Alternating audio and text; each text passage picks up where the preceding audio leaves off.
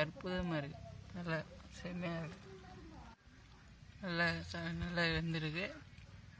அது வந்து சாப்பிட்டோம்னா உடம்புக்கு நல்லா ஆரோக்கியமாக இருக்கும். நல்லா ஸ்ட்ரென்த்து கிடைக்கும். அது.